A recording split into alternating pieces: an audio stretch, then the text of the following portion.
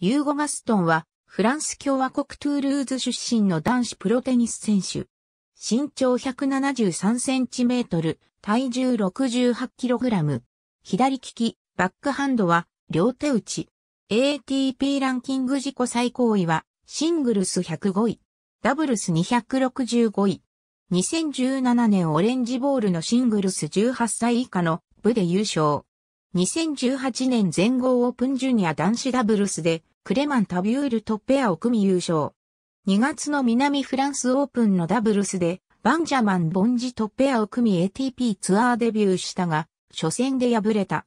翌週のオープン13でワイルドカードで本戦入りし、シングルスでツアーデビューしたが、初戦のステファノ・トラバーリャに2から0で敗れた。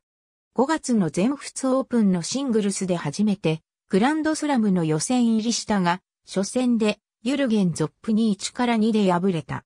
10月の2018年、ブエノスアイレスユースオリンピックでフランス代表として選出され、シングルス決勝でファクンド・ディアス・アコスタをおろし金メダルを獲得。またダブルスでタビュールとペアを組み銅メダル、混合ダブルスでもクララ・ビュレルとペアを組み銅メダルを獲得した。この結果により2018年10月に ITF のジュニア世界ランキングで2位となった。2019年は ITF 男子サーキットのシングルスで7回決勝に進出し4回の優勝を果たした。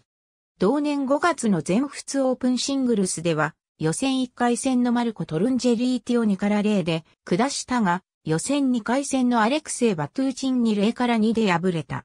2020年全豪オープン男子シングルスでワイルドカードで本戦入りし、グランドスラム本戦デビュー。1回戦でハウメムナルニ1から3で敗れた。同年9月の全仏オープンにもワイルドカードで本戦に出場し、1回戦でマキシム・ジャンビエを3から0で下し、グランドスラム初勝利すると、2回戦ので西岡義人を3から1、3回戦で第16シードのスタンワウリンカをフルセットで下した。